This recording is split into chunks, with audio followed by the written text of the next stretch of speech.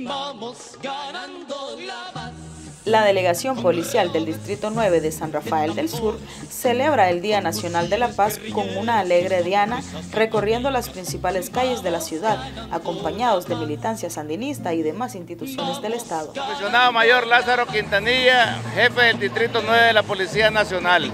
Estamos en esta diana movilizándonos con nuestro pueblo, movilizándonos con las instituciones porque estamos celebrando el 19 de abril como Día Nacional de la Paz y la Policía Nacional es la más interesada en que vivamos en paz. Esa es ese es el lema de nuestro gobierno, que vivamos en tranquilidad, que vivamos con seguridad y que vivamos en paz demostrando así la alegría de vivir en un país donde reina la paz, gracias a Dios y al buen gobierno que lucha cada día por garantizar seguridad y tranquilidad para las familias nicaragüenses.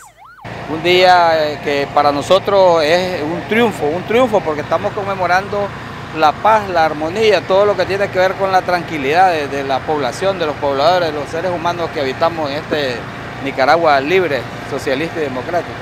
¿Un mensaje que se le puede enviar a la población para seguir trabajando y forjando la paz en Nicaragua? Sí, que sigamos luchando, protegiéndonos todos, pues, porque la idea es que vivamos en paz, en armonía. Y proteger, si nosotros protegemos nuestra Nicaragua, como lo hicimos en el 2018, seguiremos en paz, seguiremos en armonía. Estamos celebrando que aquí en Nicaragua sigue siendo libre y sigue habiendo paz para siempre. ¿Le parece muy importante que la, población trabaje siempre en pro de la paz? Claro que sí. Usted, nosotros sabemos que aquí eh, Nicaragua va a progresar si hay paz.